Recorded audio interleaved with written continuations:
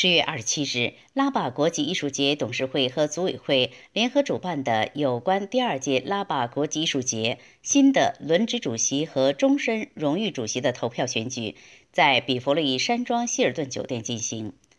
拉巴选举大会由西好莱坞艺术委员会创会主席、拉巴国际艺术节执行董事托德·威廉姆森主持。知名国际媒体人、拉巴国际艺术节创会主席周正。英国皇家学会 RSSG 加州主席、拉巴国际艺术节轮值主席凯伦·坎特尔公主，美国国际纪录片创会主席、拉巴国际艺术节董事哈里森·安格，三次奥斯卡金像奖获得者、拉巴国际艺术节董事保罗·奥托森，国际知名音乐人、拉巴国际艺术节董事凯伦·韩，法国大使、拉巴国际艺术节董事。菲利普·米尔格罗姆参加会议。三位候选人是企业家、活动家、慈善家。出身于贵族和拥有英国王室血统的凯伦·坎特尔公主，专攻西方油画和中国水墨画，并在近年创出专属于自己风格的量子艺术。世界上最优秀的艺术家之一黄建南，法国艺术家。法国美术协会前主席润阿若，经过七位董事的投票表决，凯伦·坎特尔公主当选为拉巴国际艺术节终身荣誉主席，黄建南当选为2022-2023第二届拉巴国际艺术节拉巴秘鲁最具影响力、最具价值艺术家新任轮值主席。由于黄建南因疫情不能前往美国洛杉矶任职。经拉巴国际艺术节组委会讨论决定，并举手表决，由凯伦·坎特尔公主代替担任第二届拉巴国际艺术节轮值主席。此刻特别激动，也特别开心。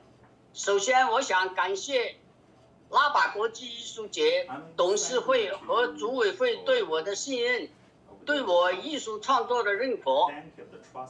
都说信任比黄金还金贵。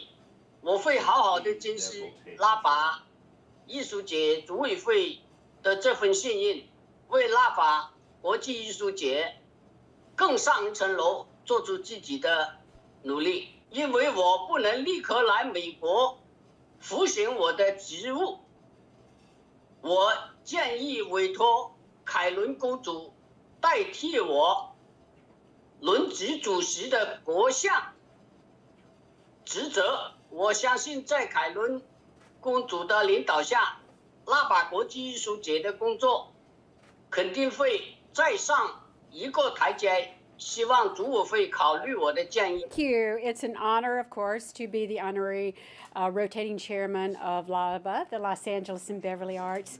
And I just want to thank Janan Wang for putting his confidence in me to appoint me to represent him for the 2022 uh, to 2023 time period. Uh, he is a magnificent artist, and I am so very honored to serve the LABA community and the artists 拉巴国际艺术节终身荣誉主席和接任轮值主席凯伦·坎特尔公主当众宣布，2022-2023拉巴国际艺术节命正式启动。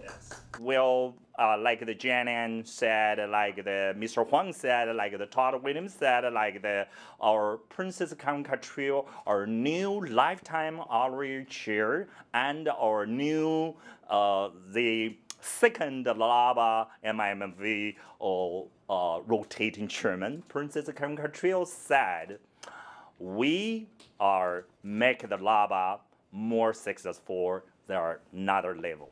华夏电台记者比弗利山庄采访报道。